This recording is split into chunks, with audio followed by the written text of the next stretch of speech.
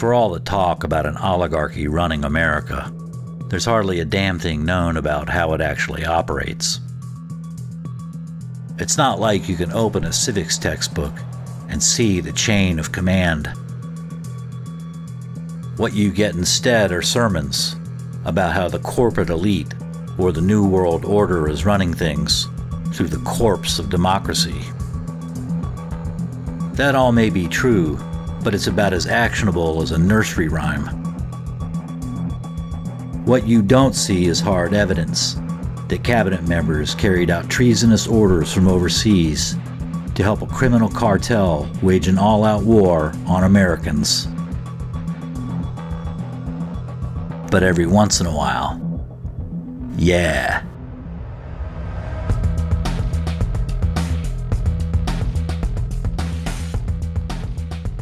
In late 2012, the U.S. Justice Department stunned the world by settling its huge criminal money laundering case against British bank HSBC for a fine. In the four years since the financial crisis had hit, the DOJ had never prosecuted a too big to fail bank, always claiming there wasn't enough evidence to prove criminal guilt. With HSBC, though, the DOJ finally had a big bank by the balls. Prosecutors had obtained a confession, the same holy grail of evidence that had punched Bernie Madoff's ticket to federal prison four years earlier. HSBC has admitted its guilt to the four count information filed today, which sets forth two violations of the Bank Secrecy Act a violation of the International Emergency Economic Powers Act, or IEEPA, and a violation of the Trading with the Enemy Act. Instead of winning the biggest criminal trial in U.S. history, though, the DOJ balked. When asked why later that day, Lanny Breuer, the head of the criminal division, unveiled a brand new excuse having nothing to do with the law. We don't want to make a decision that is going to have all kinds of horrible collateral consequences. When the DOJ used the same excuse again one week later, in a second case of uncontested crimes, Attorney General Eric Holder revealed that the DOJ had been assessing collateral consequences all along. With regard to the impact, let's be honest, yeah. I mean, that's a factor, and that, I'm not talking about just this case, um, but in others that we have resolved. The impact on the stability of the financial markets around the world is something that we take into consideration we, talk, we reach out to experts outside of the Justice Department to talk about what are the consequences of uh, actions that we might take.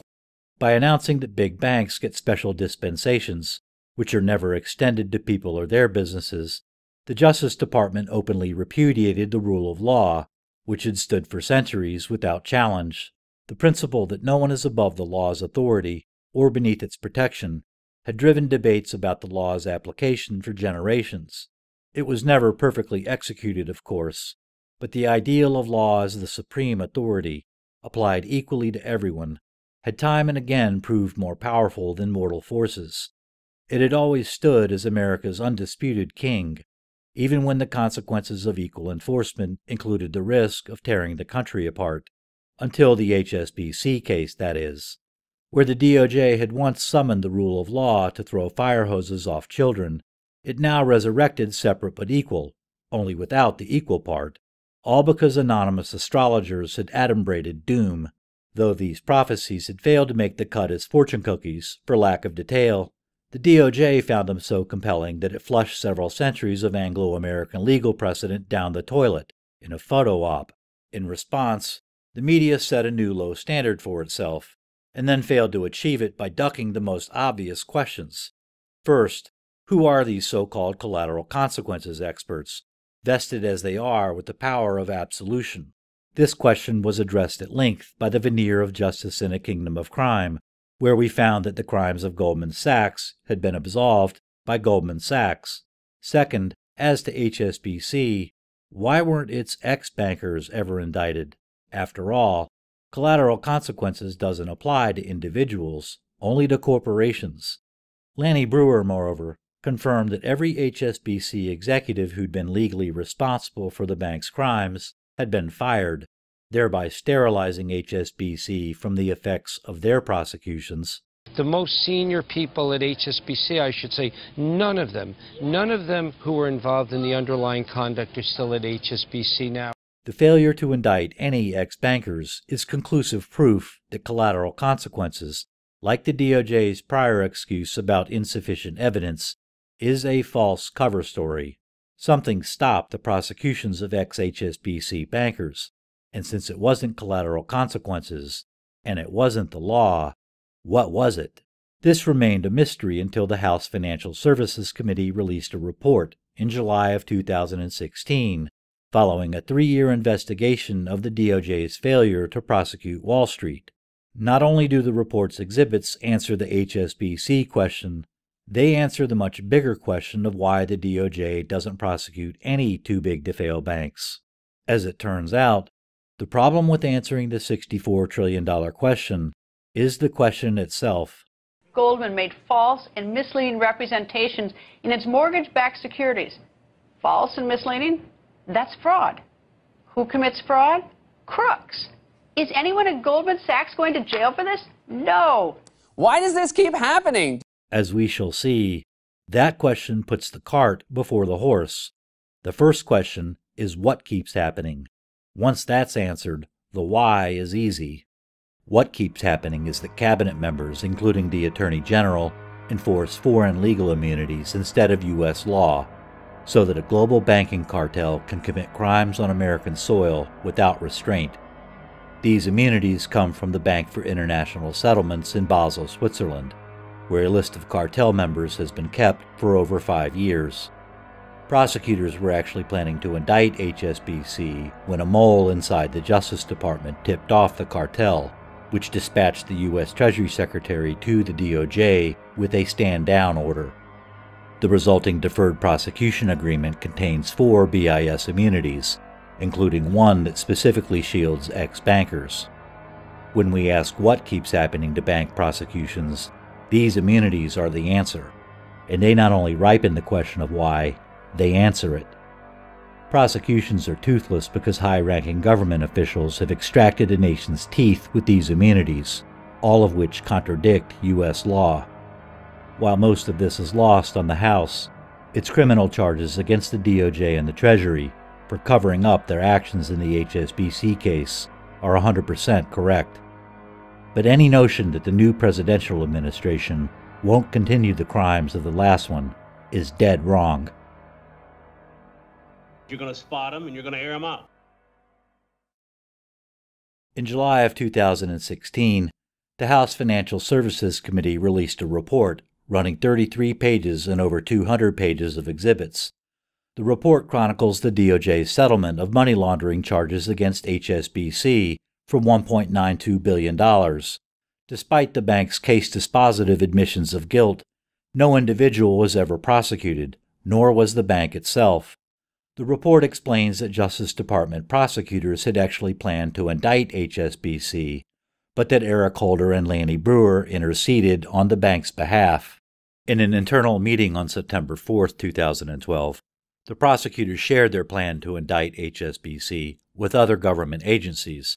Remarkably, one of these agencies, the Financial Services Authority, was from the United Kingdom. The FSA alerted UK Treasury Chancellor George Osborne, who promptly sent a letter to Federal Reserve Chairman Ben Bernanke and Treasury Secretary Tim Geithner on September 10th. The letter warned Chairman Bernanke and Secretary Geithner that prosecuting a systemically important financial institution such as HSBC could lead to contagion and pose very serious implications for financial and economic stability, particularly in Europe and Asia. Two months later, Breuer and Holder met personally with HSBC and offered the bank a deferred prosecution agreement the DPA reflected their decision to abandon all plans of indictment. The House report concludes that the FSA's intervention in the HSBC enforcement matter appears to have played a significant role in ultimately persuading DOJ not to prosecute HSBC. While that limited conclusion is correct, the House's breathtaking lack of curiosity about various anomalies in the exhibits crippled its broader investigation. The report observes, for instance, that the UK FSA was being particularly problematic on enforcement and adopting a light touch approach at industry's request. But the House never once questions what British officials were doing in American law enforcement meetings to begin with. As revealed by another exhibit, HSBC's status as a large British bank fails to explain why the FSA was in attendance. The FSA has been on all of the recent interagency calls regarding HSBC. It has not been on any interagency calls regarding SCB because the prosecutors have opposed its participation. Standard Chartered Bank, like HSBC, is a huge British financial institution. And yet, this wasn't enough for the FSA to get inside American law enforcement meetings about SCB. Something other than size and nationality allowed the FSA to monitor the DOJ's internal meetings about HSBC. But what? This sails right by the House. Likewise, the DOJ agreed to significant alterations to the Deferred Prosecution Agreement's terms during the negotiations with HSBC that took place between November 14th and December 11th, but the House never explains why the DOJ caved in. The DOJ's concessions were huge and included insulating HSBC and its employees, officers, and directors from prosecution, and allowing executives to get their bonuses despite failing to meet compliance standards. While the House rightfully says the FSA played a role in the DOJ's refusal to prosecute the bank, it never explains what that role was or its connection to specific modifications of the settlement agreement. It was the FSA, after all, that prompted Chancellor George Osborne to send the letter to Fed Chairman Ben Bernanke and Treasury Secretary Geithner, warning of possible financial calamity if DOJ were to prosecute HSBC, the very same excuse the DOJ used months later when rationalizing its refusal to indict. Worst of all, the House quotes extensively from Osborne's letter, without ever understanding its very essence. George Osborne wasn't offering friendly advice about HSBC. He was ordering Ben Bernanke and Tim Geithner to intercede on its behalf, as he was doing himself. Every one of the DOJ's concessions to HSBC in the final settlement agreement comes from that order. Osborne dilly dallies before communicating both a threat and a ransom on page 2. For a systemically important financial institution, this could lead to contagion. Contagion is Osborne's threat for prosecuting HSBC. To emphasize his threat, he claims he doesn't want to overstate it, and then repeats the threat not once, but three separate times, with unintended consequences, potential market stability risks, and very serious implications for financial and economic stability. For his ransom, Osborne cleverly avoids the word ransom and uses next steps instead, in a bold faced header. He then announces, apropos of nothing but his own duplicity, that it's not his intention to interfere in the HSBC case. As a display of chumminess, he warmly recalls the good old days of Anglo American teamwork in Iran and Syria. It is here, though, that George Osborne's ham fisted verbosity is cleaved by very sharp contrast with a legal masterpiece of brevity and subtlety. The barrister who actually wrote the next two sentences all but draped his wig over them. Note how they parallel each other across the Atlantic and begin with the air of command. It is for you and your partners in other departments and agencies to decide how best to supervise, regulate, and enforce compliance within your jurisdiction. By itself, the first sentence conveys next to nothing. That's because our barrister left its two key terms, compliance and jurisdiction, open to interpretation. Jurisdiction is the official power to make legal decisions or judgments, but comes in many stripes. The question is always what it is that vests a decision maker with the power to decide. Territorial jurisdiction, for example, is decision making power that's limited by location, and is what most people associate with jurisdiction. Subject matter jurisdiction is the power to decide a case based on its nature or type. In personam jurisdiction is the power to decide based on the common geographical region of the parties and the decision maker. The first sentence doesn't indicate what Bernanke and Geithner's jurisdiction is based on. It's worth noting here that our barrister declined to say within the U.S., which is not only shorter than within your jurisdiction, but unambiguous as well. From this, we may surmise that within your jurisdiction means something other than within the U.S. The term compliance is likewise vague, since we don't know what must be complied with. Once again, the first sentence simply doesn't say. These are virtues and not vices, however. Our barrister put the cues for interpretation in the second sentence, where he resolves both terms definitively. This ensured consistency on both sides of the Atlantic and ultimately minimized verbiage. The second sentence tells us that Adair Turner, Mervyn King, and George Osborne must ensure that UK financial institutions are fully compliant with global standards and rules. Compliance thus means compliant with global standards and rules. We'll identify these rules in due course. For now, it's worth noting the highly curious claim that British officials must enforce global rules rather than British ones. Notable as well is the invocation of three British officials rather than two, as the head of the UK's exchequer, Osborne was the equivalent of U.S. Treasury Secretary Tim Geithner. Mervyn King was the head of the Bank of England, and thus the equivalent of Fed Chairman Ben Bernanke. Adair Turner is the odd man out, seemingly. Turner was the head of the Financial Services Authority, which had been monitoring the DOJ's meetings about HSBC. As for jurisdiction, the allocation of decision making authority is an eye opener. It is not based on where a bank operates.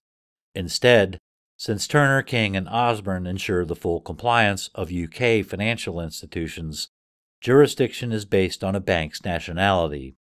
What Bernanke and Geithner are being told is that the enforcement of global rules in the HSBC case is for Turner, King, and Osborne to decide.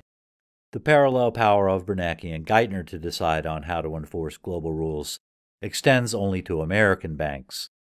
When it comes to enforcing global rules, whatever the DOJ does with HSBC puts the money laundering case in Brooklyn under British jurisdiction. Thus, our surmise that within your jurisdiction does not mean within the U.S. was indeed correct. The next question, of course, is what global rules Osborne is referring to, and that in turn depends on which global rule making entity he's referring to. It's almost certain that Bernanke and Geithner knew exactly which entity he meant, based simply on the five names mentioned. But George Osborne's fists of ham bludgeoned them with a dead giveaway just in case. The giveaway is the phrase systemically important financial institutions. Less than a year before Osborne's letter, the Financial Stability Board in the Bank for International Settlements published for the first time a list of banks under this exact rubric and was the only global entity to use this phrase. The list is a who's who of the biggest bailout recipients from the 2008 meltdown and formally identifies the global banking cartel under the FSB's protection. HSBC appeared on the 2011 list. Standard Chartered Bank, notably, did not. The FSB also maintains a membership list, its Anglo American members separately confirmed that Osborne was referring to the Financial Stability Board. Turner, King, and Osborne account for the entire UK delegation, Bernanke and Geithner for an American majority. The FSB's mandate, moreover, describes the function of Osborne's letter to perfection.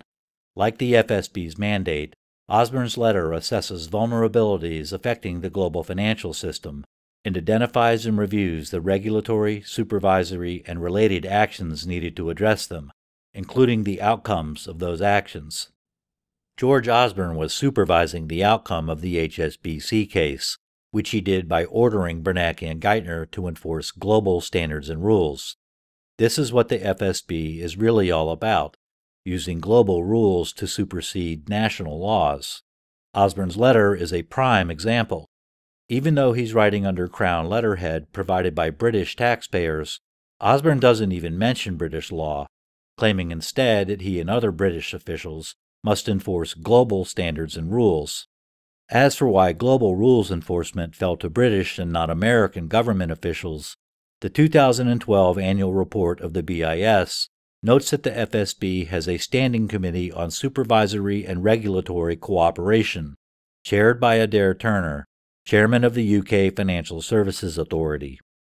Cooperation is an FSB Orwellianism, as we shall see, for using coercion, if necessary, to enforce its will. But in any case, the FSA's function as the Financial Stability Board's cooperation supervisor explains why British officials were monitoring internal DOJ meetings about HSBC, which was a cartel member, but not Standard Chartered Bank, which in 2012 was not. At bottom, George Osborne's letter carried both the authority and jurisdiction to decide how to enforce the FSB's mandate. On these grounds, His letter is unmistakably ordering American FSB members who had neither authority nor jurisdiction to enforce the FSB so called global standards and rules in the HSBC case. This not only stopped American prosecutors in their tracks, it led to every concession the DOJ granted to HSBC in the final settlement agreement, too. Before highlighting the FSB's rules throughout that agreement, a few words about the FSB itself are in order. First, George Osborne is just one of many cabinet level officials who can be tasked with carrying out the FSB's mandate of fixing outcomes. Responsibility for these orders lies first with the standing committees and ultimately with the head of the FSB. On this score, the FSB was chaired until November of 2011 by Mario Draghi and has been chaired by Mark Carney ever since. Both men are former Goldman Sachs executives. Carney was chairman of the FSB when Osborne sent the letter that led to the DOJ's decision not to prosecute HSBC. That was more than half a year before Carney joined the Bank of England as its governor. As governor, Carney was asked by Parliament in 2016 if he and Osborne had discussed the HSBC case before the DOJ decided not to prosecute in 2012. There are three possible answers to Andrew Tyrie's yes no question. Yes, no, and I don't recall. No and I don't recall are easy, and harmless too.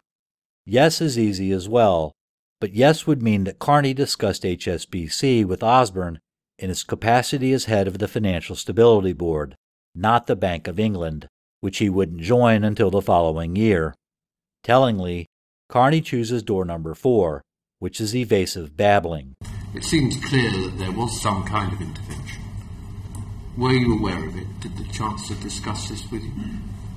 Governor? Uh, with respect to, uh, I, no, I'm not aware of. I mean, we have discussions.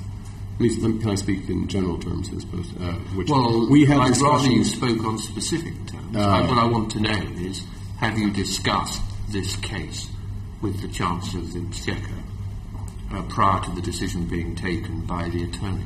Uh, the specific case prior, I mean, which decision is? Uh, ta- I mean, have, have we? I've, I've discussed. Well, a decision has been taken uh, not to prosecute HSBC.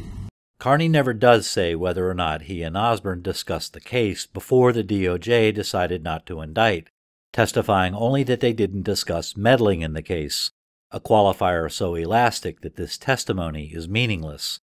What Carney undoubtedly wants to know from counsel is whether he can avoid answering yes to the unqualified question on grounds that when he did discuss the HSBC case, Carney wasn't yet the Bank of England's governor, in which capacity he's now offering his testimony. Not getting the answer he wants, Carney tries his first ruse again of testifying in general terms, but doesn't repeat his earlier mistake of telling Tyrie that this is his strategy. He thus succeeds in deceiving Parliament on two key points.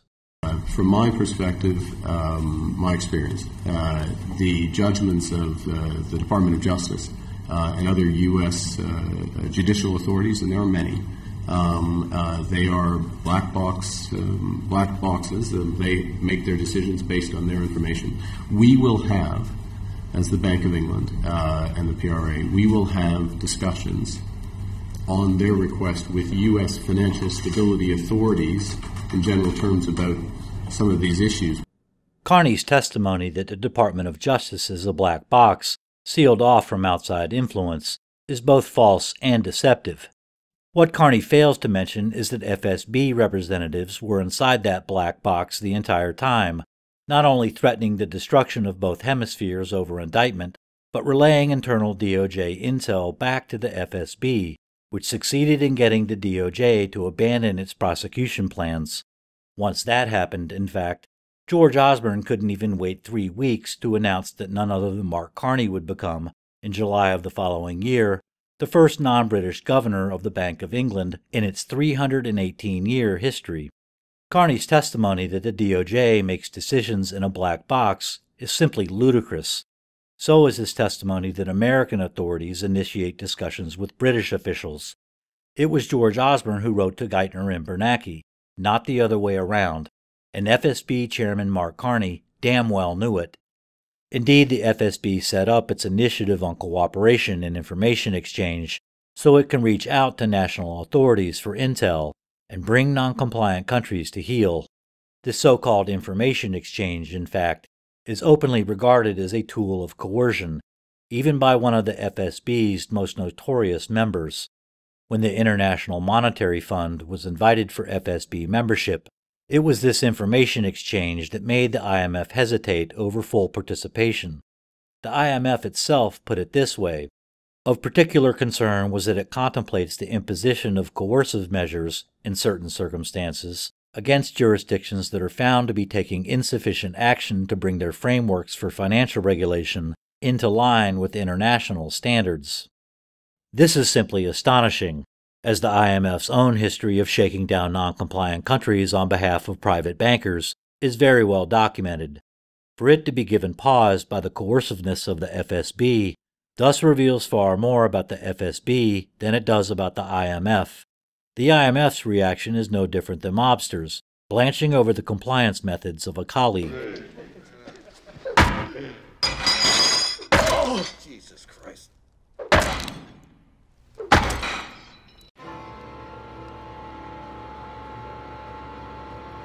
For those countries found to be non-compliant, one can only wonder what actually goes on when the FSB, per its own website, enters into a confidential dialogue with the government authorities concerned in order to further evaluate their compliance and improve their adherence to standards. This brings up the one thing that makes the FSB uniquely dangerous among global entities, and that's its mix of high ranking government officials with cartel bank executives. Not only do the plenary's chairman come from Goldman Sachs, the FSB's charter expressly allows the chairman, and no one else, to invite representatives of the private sector to plenary meetings, which are closed to the public and have no published transcripts or minutes. By having cabinet level officials answer to former Goldman Sachs executives and their friends in secret meetings, the FSB provides perfect cover for the criminal banking cartel to control Western governments under the amorphous heading of financial stability. Osborne's letter demonstrates only in part how the chain of command works. A 2013 Senate hearing and a 2014 New York Times Magazine article suffice for the rest. Three months after the HSBC case settled, the Senate wanted to know if the DOJ had sought Treasury's advice about the projected economic impact of indicting HSBC. Speaking through David Cohen, its Undersecretary for Terrorism and Financial Intelligence, who'd been involved in the HSBC case, Treasury said that while the DOJ had in fact sought such an assessment, Treasury had refused to provide one. And so when the Justice Department is making the decision about whether or not to make a criminal prosecution, do they ask you about the impact on the economy for one of these large banks? So I can't speak to every instance whether that occurs. That did occur in the HSBC matter. We told the Justice Department that we weren't in a position to offer any meaningful assessment of what the impact might be of uh, whatever criminal uh, disposition they may take. Senator Warren is so stupefied by Cohen's disclosure that the DOJ even requested such an assessment that she interrupts him to make sure she heard his testimony correctly.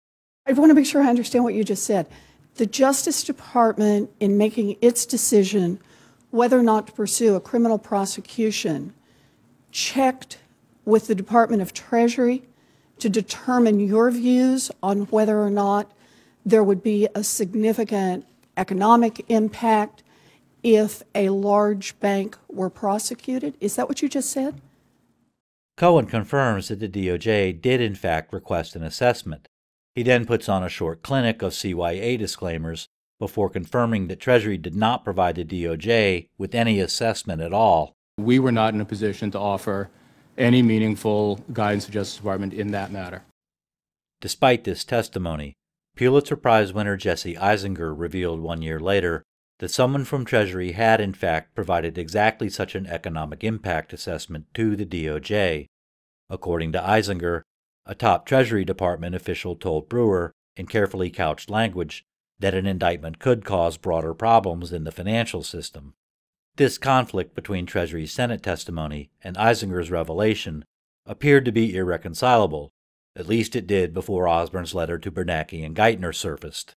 Now we know that the top Treasury official was Tim Geithner.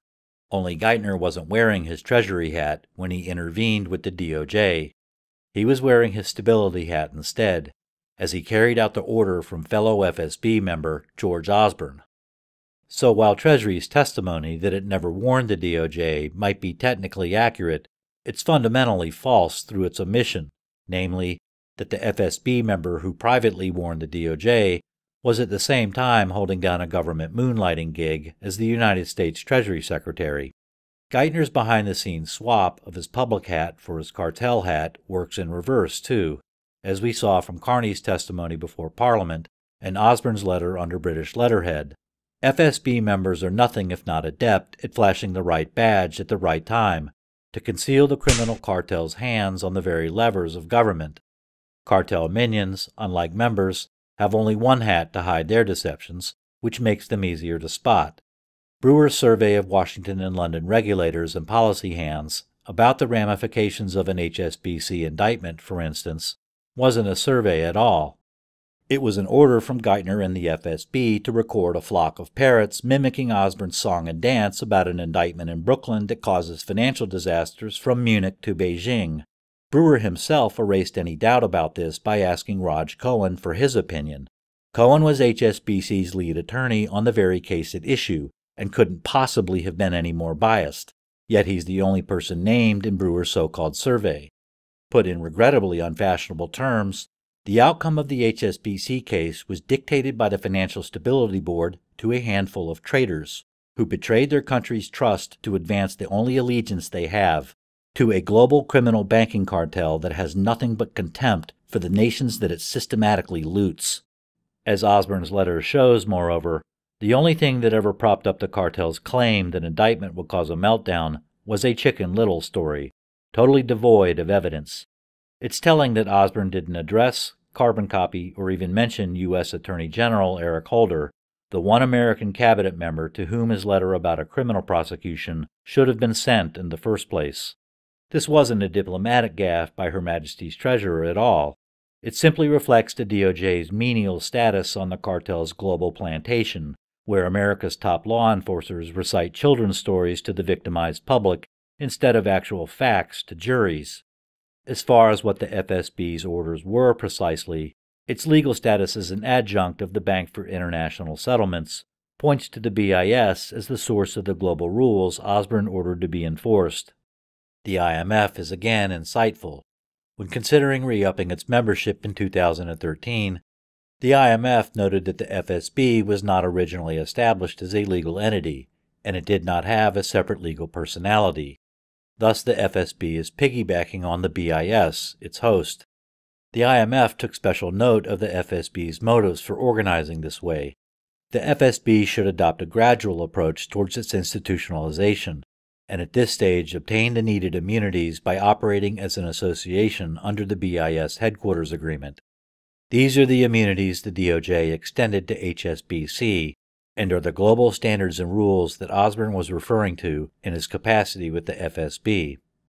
Despite contradicting U.S. law, these immunities have controlled the DOJ's disposition of every criminal case involving cartel members since 2011, including HSBC. The first immunity is the only one the media talks about, though not in that language, and that's the immunity of banks as corporate entities. This is why HSBC wasn't prosecuted at the company level. As shown in the veneer of justice, this immunity is void under U.S. law, since only the sitting president enjoys criminal immunity. The second immunity concerns documents. Under the BIS agreement, all documents in any data media belonging to the bank or in its possession shall be inviolable at all times and in all places. This immunity is void under U.S. law as well, as we know from the Supreme Court's decision in United States against Nixon. Following the Watergate break in, the special prosecutor filed a motion for a subpoena of White House records. Nixon tried to satisfy the subpoena by picking and choosing documents so as to withhold damaging segments of audio tape recorded in his White House office. Nixon asserted executive privilege as his legal basis for this documentary immunity. The Supreme Court rejected his claim of executive privilege. The court's order to turn over the tapes in their entirety led President Nixon to resign two weeks later. And yet, despite the fact that not even the U.S. president enjoys documentary immunity, this is exactly what we see enforced throughout the HSBC case. The DOJ never had access to HSBC's documents because it allowed the bank to pick and choose what to disclose, exactly as President Nixon had tried to do. Lanny Breuer let this slip the very day the HSBC case settled. Why isn't anybody going to jail? Well, look, Eric, when you look at these cases, you have to look very hard at what the underlying conduct is, and you have to look at how long it occurred. For an institution like HSBC, the real story here is that for ages, maybe for decades, they had no compliance program at all. Managers, mid-level managers and others probably were told, work on the bottom line, cut money wherever you can. And so the institution here is really responsible. What forces Breuer to invent entire conversations out of thin air was the DOJ's lack of access to the bank's internal documents.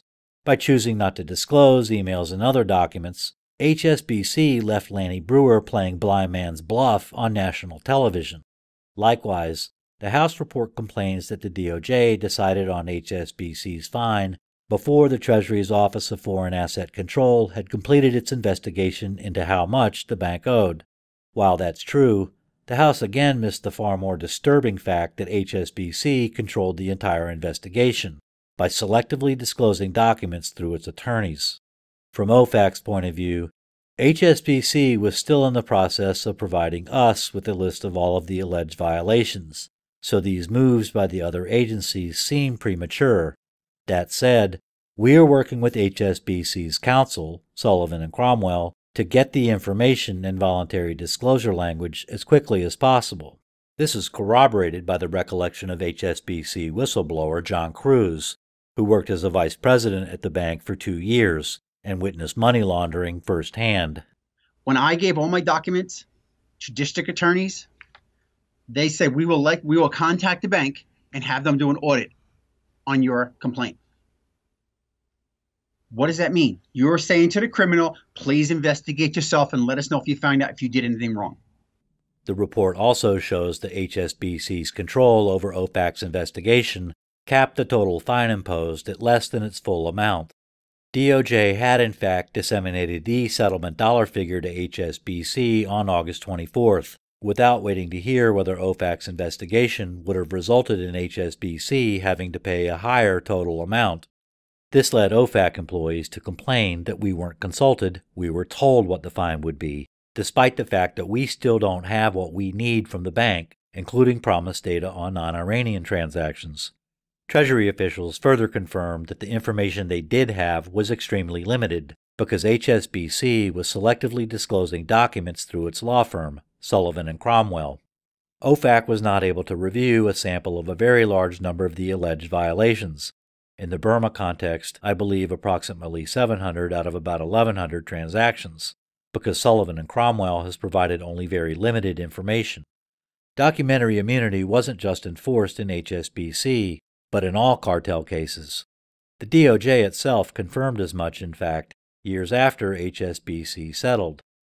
Fittingly, it was the DOJ's umpteenth empty promise to enforce the law that exposed its own dereliction.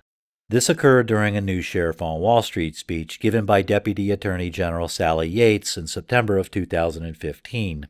And they must provide all relevant facts about their misconduct. It's all or nothing. No more picking and choosing what facts to disclose. No more partial credit for less than full cooperation. Note that the DOJ's self confessed enforcement of documentary immunity again has nothing to do with any risk of financial calamity. This is one of the many reasons the DOJ keeps the cartel's yarn about the sky falling as far out of court as possible. Tellingly, the DOJ's own documents about the HSBC case enjoy immunity themselves. In response to a host of congressional subpoenas, the Justice Department refused to turn over so much as a single email, even after it was charged with crimes. Its criminal cover up has continued to this day with no consequences at all. Likewise is the Treasury, which turned over nothing but a handful of redacted documents that came from a third party lawsuit. Without those, the HSBC report would have amounted to a few bullet points about congressional futility and maybe a cover page. For all their bluster, Congress members are perfectly content for the DOJ and Treasury to help the global banking cartel systematically fleece their own constituents. This takes us to the third BIS immunity the DOJ enforces for the cartel immunity of assets. This is found in Article 4.3 of the BIS Headquarters Agreement and reveals why the DOJ's so called fine of $1.9 billion is a misnomer. The immunity shields the bank's assets from execution, which is simply the seizure of property by a government to collect on a judgment. But there was neither judgment nor seizure in the HSBC case. Instead, the $1.9 billion figure comes from the deferred prosecution agreement between the DOJ and the bank and was negotiated and consented to by HSBC.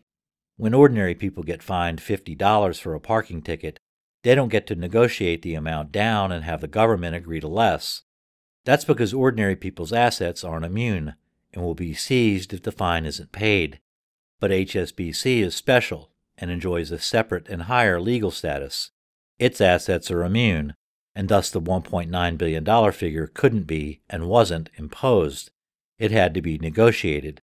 This is why the amount was cropped below its legal limit, as we already saw. But the report's exhibits confirm another crucial aspect of the amount, namely, that it was nothing but a rote computation. When British FSA officials monitoring the DOJ's meetings expressed surprise at the size of the fine, their ignorance set off derisive emails among Treasury employees. The FSA, they noted, was quite taken aback both by the implications of a criminal plea and by the sheer amount of the proposed fines and forfeitures. It seemed like it was the first time they'd taken out their calculator. Since cartel banks strictly control what information they disclose, HSBC unilaterally set its own fee for money laundering in the U.S. and sent supporting documentation to the DOJ for relabeling as a fine. Again, this squares with the recollection of HSBC whistleblower John Cruz. Well, they paid a $1.9, $1.9 billion fee to pay off the government, and I don't call it a fine because it was not a fine. That fine, I told the U.S. government four years prior that they were going to pay that amount. They had it sitting in the bank accounts. The DOJ has patted itself on the back over large settlements for years, when it should have been asking what those numbers say about its role as both law enforcer and regulator. You're neither. You're an errand boy sent by grocery clerks collect a bill. The immunity of too big to fail bank assets, as opposed to costs, is underscored by the DOJ's agreement to remove any conditions on HSBC bonuses from its draft settlement. As shown already, HSBC modified the agreement to expressly allow executives to get their bonuses despite failing to meet compliance standards.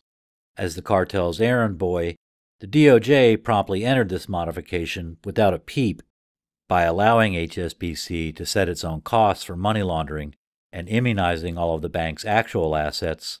The DOJ granted a foreign bank legal privileges that sovereign countries don't have under the Foreign Sovereign Immunities Act. The fourth cartel immunity enforced by the DOJ is personal immunity from prosecution. This is why the DOJ refused to indict any bankers or ex bankers from HSBC, as well as every other cartel member. Individual immunity is set forth by Article 14 of the BIS Headquarters Agreement, which shields bank employees from the government's jurisdiction. By its express terms, Article 14 extends immunity to employees even after they leave the bank, a provision that was fully enforced in the HSBC case. As we saw, every high ranking employee responsible for criminal money laundering at HSBC had been fired. Under the DOJ's draft agreement, it was open season on them. As the House report notes, the original draft DPA doesn't shield any employees, officers, or directors who willfully processed illegal transactions a provision that would have allowed the DOJ to indict the ex bankers who perpetrated HSBC's crimes. So HSBC revised the draft to comport with Article 14's immunity for ex employees. Under the revision, everyone responsible for all criminal transactions previously disclosed by HSBC would be immune. This is what prevented the DOJ from ever prosecuting the bankers or ex bankers who perpetrated HSBC's crimes. Once again, the DOJ's collateral consequences story only explains why the DOJ didn't indict HSBC, the corporation. The very source of the DOJ's collateral consequences factor, the U.S. Attorney's Manual, which is a guideline rather than binding law to begin with, explains why the outcome of the HSBC case turns actual law on its head. The manual correctly notes that it's legally impossible for a corporation to commit crimes unless individuals first commit crimes themselves. A corporation can only act through individuals. The very fact that the DOJ is even looking at collateral consequences, in other words, means that individuals not only committed crimes, but crimes serious enough to warrant the indictment of the entire company.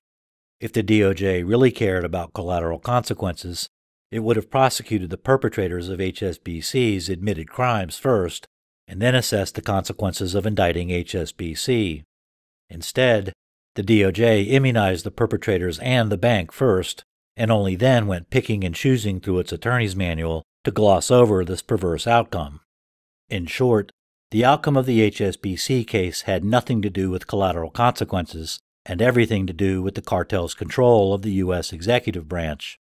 The immunity of cartel individuals, of course, conflicts with U.S. law, since no one is immune from prosecution with the arguable exception of the sitting president. Moreover, we know that ex presidents, unlike ex cartel bankers, are not immune from prosecution, which is why Richard Nixon needed a pardon from President Ford once he resigned. But ex cartel bankers don't need presidential pardons because they're protected instead by the BIS immunity for ex bank employees. And again, the BIS immunities controlled not only HSBC, but every cartel case in its wake. Even where the DOJ appears to stray from these immunities, in fact, its enforcement of the cartel's private legal system is faithful to the very letter. First, for individual immunity to apply, a bank has to be a cartel member. Six cartel banks, for example, admitted to criminally rigging the LIBOR rate and paid fines ranging from $203 million to $975 million. But the DOJ has yet to convict even a single trader from the cartel. Rabobank was the seventh bank that admitted to rigging LIBOR. It paid a fine of $325 million. But Rabobank isn't a cartel member, so its traders lack personal immunity. Thus, the DOJ convicted seven Rabobank traders without compunction. A second requirement for individual immunity comes from the express language of Article 14, which applies only to individuals' acts that are accomplished in the discharge of their duties. A banker advancing his own interests, in other words, and not the bank's, is open to indictment. This explains the prosecutions of cartel bankers who engage in insider trading for their own account, as well as all other acts not in the bank's interests. Two cases involving Goldman Sachs are illustrative. Sergei Aleynikov was a computer programmer who developed high frequency trading software. When he left Goldman, he took code with him, allegedly, and was instantly arrested and indicted, twice. Though ultimately acquitted each time, Aleynikov illustrates that personal immunity doesn't shield cartel bankers acting for themselves and not the bank. The far more revealing case, though, is that of Rajat Gupta, who'd been a director at Goldman. Gupta sin was passing along confidential boardroom information about Goldman to a hedge fund that earned millions of dollars trading on his tips. According to Goldman itself, Mr. Gupta breached his duties as a director and violated our shareholders and the firm's trust. This destroyed his immunity under Article 14 and led to his indictment. What's so revealing about Gupta's case, though, is the evidence used to convict him. Gupta had passed along tips to Raj Rajaratnam, whose Galleon hedge fund, a non cartel member, profited from his tips. Rajaratnam had already been convicted of insider trading by the time Gupta's case went to trial. What had cooked Rajaratnam's goose were wiretaps of his phone conversations, not with Gupta, but with his employees. Now, I, I heard yesterday from somebody who's on the board of Goldman Sachs that they are going to lose $2 per share the street has them making two dollars and fifty cents. Really? You know? Yeah. Now I can get that number. You know, when they don't report till December. They, I think their quarter ends in November. They have one more. But, you know, they have these huge marks in ICBC and all of that stuff, right? Mm-hmm. mm-hmm. That uh, it's got absolutely clubbered, you know? Right. So what he was telling me was that uh, Goldman, the quarter is pretty bad. They have zero revenues because their trading revenues are offset by asset losses. And today Yeah. they've lost two dollars per share. They just announced a ten percent cut. Yeah. And uh, you know, the basic business is okay, but uh, you know, this is uh, uh, tough for them. I don't think that's built into the Goldman Sachs stock price. So if it gets to 105, I'm going. to It's 99 now. It was at 102. I was looking for 105. I'm going to whack it. You know. Okay. Okay. It's easy to see how Rajaratnam's own words convicted him. What's so telling, though, is that they convicted Gupta too, even though Gupta wasn't part of the conversations. Gupta's attorneys argued that the conversations were hearsay, but both the trial and appeals courts held that they fell within one of the hearsay exceptions. That legal issue aside, the takeaway here is that while Rajaratnam's phone was tapped, Gupta's never was. The best dope prosecutors could get on Rajat Gupta was from Rajaratnam's phone. That's because the data going through Gupta's phone belonged to Goldman Sachs. Whatever Gupta did to destroy his personal immunity under Article 14, in other words, never changed Goldman's ownership of his phone calls as a Goldman director, which remained separately immune under Article 3.2. Any data media belonging to the bank or in its possession shall be inviolable at all times and in all places. The DOJ's meticulous enforcement of BIS immunities exposes the slipshod collateral consequences doctrine as lipstick on a pig, not even law in the first place, irrelevant to most DOJ failures, and cherry picked for the cartel in any event. And this has all been going on for some time now. The DOJ's enforcement of documentary immunity has been a matter of public record for four years running. We spoke to a couple of sources from within the criminal division, and they reported that when it came to Wall Street, there were no investigations going on, there were no subpoenas, no document reviews, no wiretaps. Well, I don't know who you spoke with because we have looked hard at the very types of matters that you're talking about. These sources said that at the weekly indictment approval meetings, that there was no case ever mentioned that was even close to indicting Wall Street for financial crimes. Well, Martin, if you look at what we and the U.S. attorney community did, I think you have to take a step back. By itself, documentary immunity is a license for the cartel to commit crime, since crimes that aren't investigated can't be prosecuted either. With this immunity alone, the DOJ has left Americans defenseless against the cartel's financial crimes. And as chilling as that is, that's actually the good news. The implications of individual immunity are horrifying. Individual immunity shields cartel bankers for acts accomplished in the discharge of their duties. The crimes going unpunished, in other words, are official bank business, which makes those crimes systematic. Normally, systematic crime is the work of mobsters and terrorists, but that's not what we have here. Unlike the mob, the banking cartel possesses sovereign powers that exceed the president's. There's a word for systematic crime by a sovereign power against the whole country, and it isn't crime wave or terrorism. The correct term is war. The fact that no one went to jail after HSBC confessed to crimes on behalf of terrorists and drug dealers shines very bright light on both enterprises, and more glaring light yet on America's real rulers. The new administration should need all of five minutes to start turning over documents that the last one committed crimes to hide, but those documents will never see the light of day. When the real sovereign power of a nation wages war against her from within, presidents get in line or get eliminated. What they don't do is risk hanging their masters, who keep her people at war with each other by keeping them in the dark.